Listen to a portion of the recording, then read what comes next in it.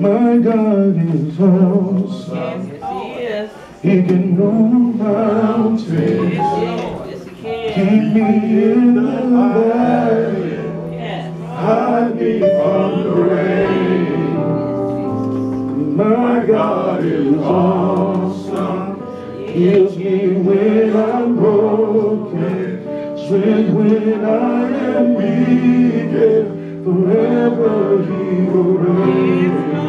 You tell him, my God is awesome.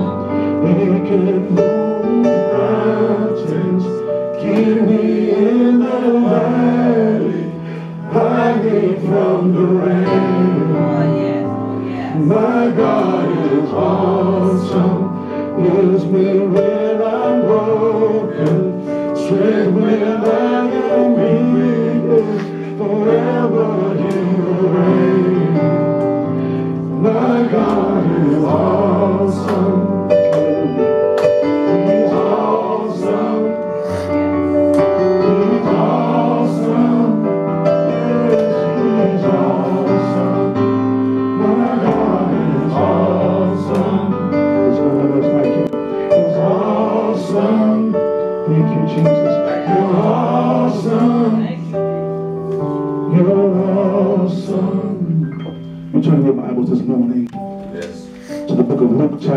18. We're going to begin at verse 35. Amen. Chapter 18, the Gospel of Luke. Beginning at verse 35. And when you've arrived, would you please stand to your feet and say amen. Luke chapter 18.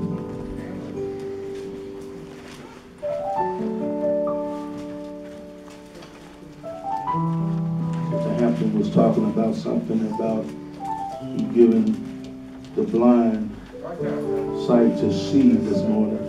Yes, yes, yes. I don't know who told her.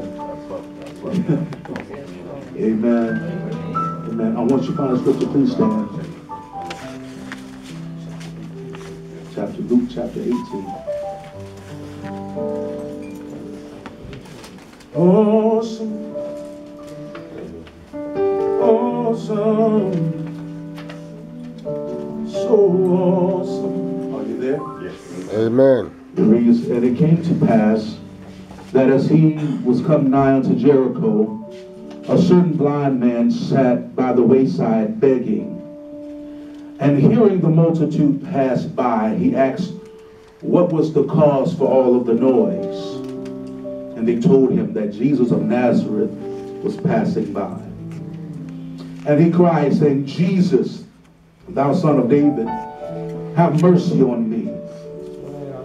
And they which went before rebuked him that he should hold his peace. But he cried so much the more, Thou son of David, have mercy on me. Yes, Yes, yes, yes. And Jesus stood and commanded him to be brought unto him. And when he was come near, he asked him, saying, What wilt thou that I should do unto thee?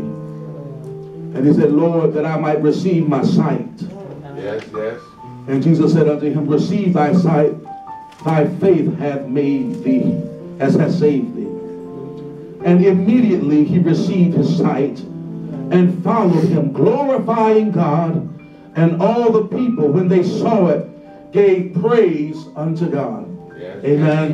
Amen. I like to use for a subject this morning, a change is going to come. Well, A change is going to come. You may be seated Yes, in the presence of the Lord this morning. Amen.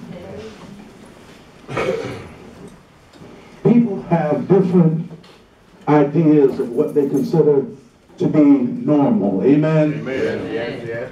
And it's a strong possibility that sometimes even what you might consider to be normal may, in the eyes of others, be extreme dysfunction.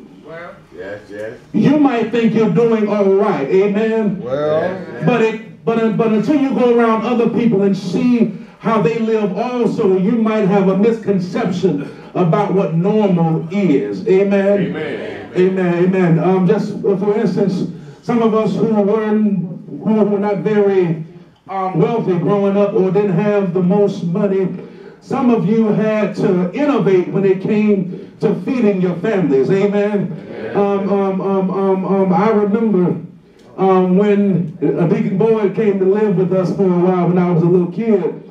Um, um, he was supposed to make sure we had breakfast in the morning. Amen. And, and, and we had cereal, but we didn't have any milk. And he said, well, that shouldn't stop you from eating this. He said, put some water on. it." and, and, and it still tasted sweet, but, but, but that doesn't necessarily mean that it was right. Amen? And it may have seemed normal to us, but if you go in somebody else's household and you ask for water to put on your cereal, they're gonna look at you funny, amen. And so, and so, so what you might consider to be the normal in your house might just be dysfunction in someone else's house, amen. And what I want to tell you this morning, when we're talking about the text, uh, the blind man, it doesn't, the text doesn't tell us how long he's been blind, but I'm willing to guarantee that at some point in his blindness, he began um, uh, become comfortable with the idea that this is how life is going to be for me. Amen. I hear people walking around and living their lives and doing whatever they want to do. But for me, my normal, uh, what's normal for me is this darkness. Amen. I'm used to hearing them, but I'm not able to enjoy my life to, their, to its fullest potential because I have an infirmity in my eyes. Hallelujah. Amen, amen, amen. Hallelujah. And so, so, so what happens in the text is, uh, the Bible says, it came to pass that um, that as Jesus was coming near Jericho, a certain blind man sat by the wayside begging. You see, he had come to terms with this is the best that life is going to get for me. I'm not able to work and be employed on my own. So I'm reduced to having to sit by and beg and depend upon the compassion and mercy of other people to make sure I have what I need. And this is normal. Can I get a witness in here? What is your normal? What, what type of dysfunction have you accepted in your life as normal? You become comfortable in it and you wake up expecting there to be darkness just like there was darkness on yesterday. Can I get a witness in here? Well, the Bible says that he was begging, begging people for money so that he could have food enough to eat and have the necessities of life. Uh, but something happened on this particular day. The Bible says uh, that as he was sitting begging, that, that even though his eyes didn't work, he still had the function of his hearing. And he hears a noise. Can I get a witness here? He hears a sound, the Bible says, of a multitude of people. There's a lot of clamoring and talking, and it gets his attention. Hallelujah. And the Bible says that he begins to ask questions. Whoever was in earshot, what's going on? What is that noise? What is it that's happening around me? Uh, uh, and, and, and the Bible says that somebody told him, said, Jesus of Nazareth is passing by. Hallelujah. No, no, no, no. See, I'm sure at this point in Jesus' ministry, word of mouth has reached the blind man about the miracle signs and the wonders that Jesus had been performing. He's no stranger to hear, oh God, that Jesus was over in this country and he unstopped deaf ears, that he was over in that country and he gave sight to the blind. And I heard about a little girl at a funeral and as they were going, Jesus touched her and she came back to life. And I heard how that they were off in the desert and there were 5,000 men, not counting women and children, and they only had two fish and 12 loaves. But I heard that he fed the multitude. And then I couldn't see it for myself, but I heard somebody told me that they saw the man walk on the water. Can I get up in? I didn't see it for myself because I'm blind, but I heard with my ears that he was at a wedding in Cana and he turned water into wine. And, and, and I'm willing to bet. I know this seems normal for me. I know I shouldn't expect much. I know I live in darkness.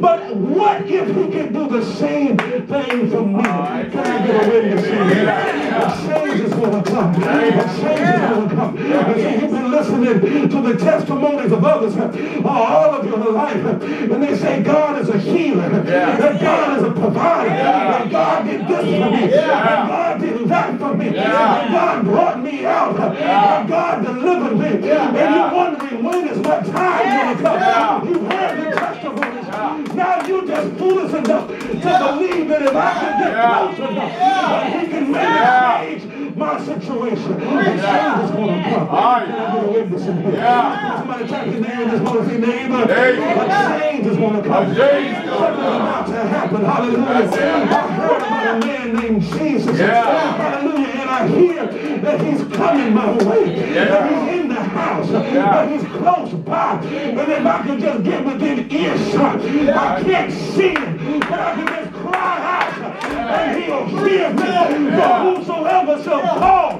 upon the name of the Lord shall be saved. Bible says he couldn't see nothing. He couldn't see Jesus. He didn't know what direction to walk in. He didn't ask nobody for help because there was too much going on. Sometimes people are too distracted to care about you, to help you, to worry about your situation. So he couldn't see Jesus.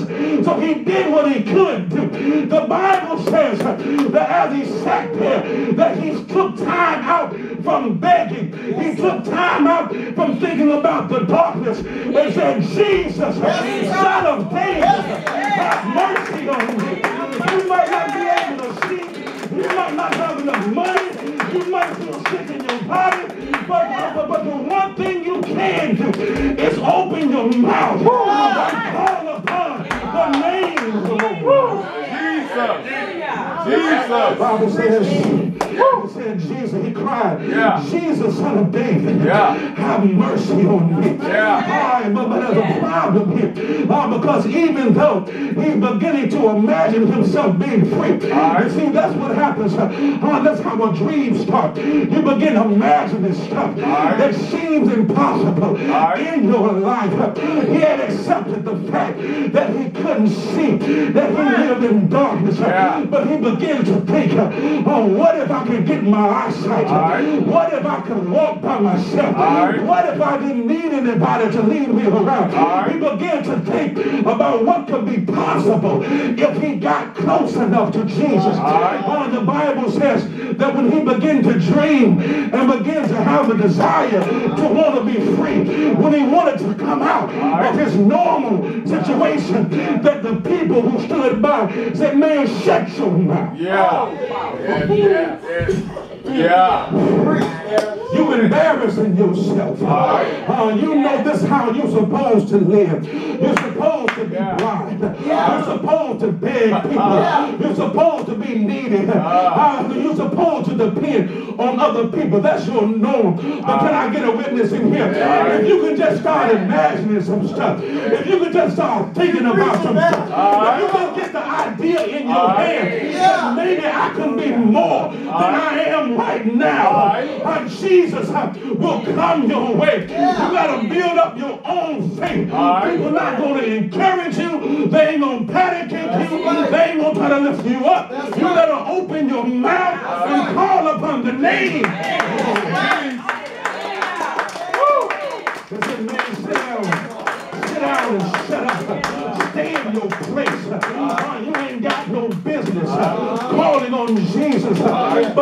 man said, listen, I've been in this situation all my life. I ain't never seen nothing. I ain't never seen nobody. I don't know what my mama and daddy look like. Uh, I've been begging all of my life. I've been depending on others all of my life. He said, at this point, I don't have anything to lose.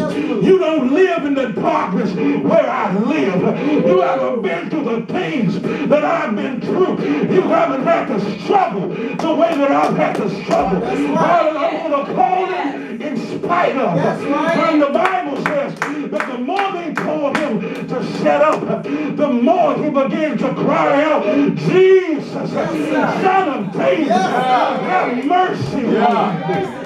Hallelujah.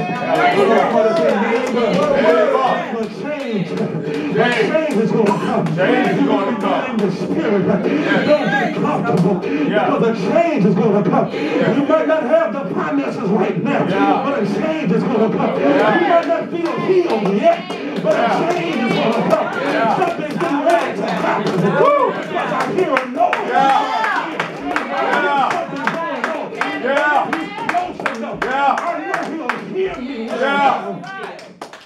Change is gonna come. Bible says woo, that he called you, out of his desperation All right. to Jesus. Oh, yeah. And in spite of all the crowd and all the noise, Right. and he didn't know what direction to even shout in, the Bible says that he made a sound that caused Jesus to stand still. Yes. Yes, yes, yes, yes. If you make the right sound this morning, Yes, Lord. Jesus. if you praise him the right way this morning, Yes, Lord. Yes. If you release the right utterance Yes, out Lord. of your mouth, you can get the attention of God. Oh, yeah. Can I get a witness in here? Oh, yeah. You see, that's why the devil wants you to be embarrassed when it comes to praise and worship. You can't afford to sit there and worry about what people think because if he had listened to the crowd, he wouldn't have got what he needed from God. But he put all protocol and pride aside and said, I'm going to get out of this thing uh, if I have the opportunity. And the Bible said that he called Jesus, that the Lord heard him and he stood still. And God called for him to be brought to him. Hallelujah. God is getting ready to change your life. Hallelujah. He's getting ready to change what you consider to be normal. Oh, yeah. You may have woke up in darkness, but today you're going to walk in the light. Can I get a witness here? Yeah. He's getting ready to change reality, but you have to put faith with your actions and call out unto him and believe that he's able to do exceedingly and abundantly above all that you can ever ask or think. Yeah. Yes, yes. He came to Jesus. Amen. He needed help to get there. My Lord. Jesus commanded the other people to bring him. Yes, Lord. And when he got there, Jesus asked a question. All right. Whenever God starts asking questions, it's not because he doesn't know something, All right. Yes, yes. but he wants your confession. All right. Yes. He says, What do you want me to do for you? All right. Yes, yes. He knew the man was blind. Mm -hmm. He needed assistance to get to him. But it seemed like a crazy question. What do you want me to do for you? But the man had to make his confession that he believed that Jesus was able to heal his situation. Well. Yes, yes. You need to stop complaining mm-hmm. Yes, and Lord. open your mouth in Yes, prayer. Yes, sir. and tell God what you need from him. sir. Amen. Amen. There's a story in the Bible where there's an evil ruler Yes. and he doesn't even regard God nor have respect for God. Yes, yes. And there was a woman in the city who said that she was wronged by her neighbor. Her neighbor owed her uh, some money. And, and she went to the king and said, King, um, avenge me of this person that did me wrong. And he sent her away.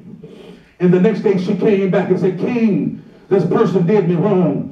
Um, avenge me of my enemy. And he sent her away again. But day after day, the woman continued to come to the king and ask, listen, I need you to make my situation right. Now, this man wasn't good. He didn't regard God. He had no respect for God. But because he got tired of her asking, Yes, he said, This woman wearies me. Go and give her what belongs to her. Now, if that king being evil can make something right in the life of one person, your God who loves you, cares about you, is always thinking about you, how much more does God want to do for you? Amen. Amen. Hallelujah. Hallelujah. The man says, I want my sight, Lord. I want my sight. Yes. yes. Verse 42 says, Jesus said unto him, Receive thy sight. Anybody still got your Bible open? Yes, yes, yes. Somebody read verse 42 for me. 42. 42 out loud. And Jesus said unto him, Receive thy sight, Uh-huh. Their faith have saved thee. What has saved thee? Their Their faith. faith. Come on, what has saved thee? Their faith. What has saved thee? Their faith. You have to believe in spite of your circumstance, in spite of what it looks like, in spite of what people tell you. You have to believe that he's able. He's able to do anything. Can I get a witness in here? As soon as the man had confessed that God was able to heal him, verse 43 says, and immediately he received his sight and followed him, glorifying God. And all the people, when they saw it, gave praise unto God.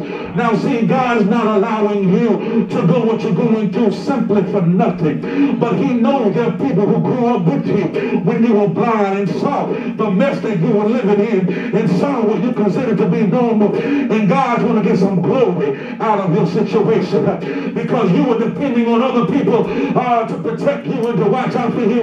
Yet God had more for you if you just begin to imagine it. Can I get a witness in here? Yeah. You need to begin to see yourself healed in the name of Jesus. You need to begin to see yourself having enough finances to pay all of your obligations. You need to be able to see yourself on the job that you want. You need to be able to see yourself in the house that you want.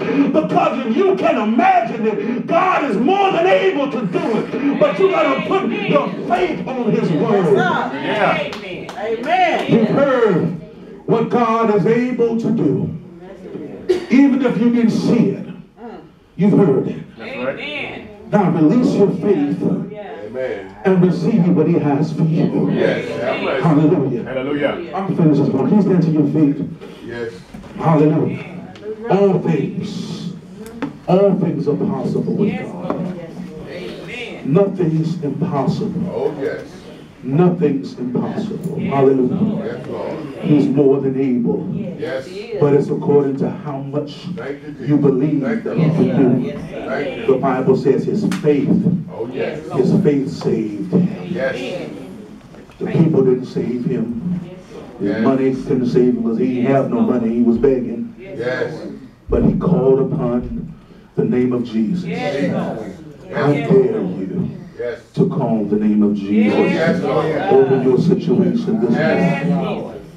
Hallelujah. You serve a God who loves you. He cares about All you. And your change is about to come. Hallelujah. My change is coming. Can you confess that this morning? My change, Yes. Change is my change is coming. My change is coming. Hallelujah. It doesn't look like it yet, but my change is coming. Hallelujah. Yes. Well, I asked Elder Hodges to do the invitation. Doors of the church open. I said, do the invitation and the altar call for us. Amen. Yes, yes, yes. Thank you, Lord. Hmm. Thank you. The doors of the church is open. Hallelujah. Anyone who does not have a church home, Yes, looking yes, for a yes. church home, you, we'll be glad to have you here. Hallelujah, Jesus. Oh, Lord, We're going to take off. Hallelujah. Yes, Lord. Hallelujah. Yes, Anybody yes, needs have special prayer? Jesus. Oh, yes, Lord Jesus. Thank prayer? you. Thank you, Lord Jesus. Amen. Amen. Amen. Yes, Lord. Hallelujah. Hallelujah. Thank Thank you, you. Jesus. Hallelujah. Come on up here, man. Yes. Hallelujah. Uh-huh. How many know that the devil is a liar? Yes, yes, have mercy. Hallelujah. Yes. Jesus said he's the father of lies. Oh, And the oh, yeah. truth is nowhere in him. Hallelujah. Yes, yes, yes, yes.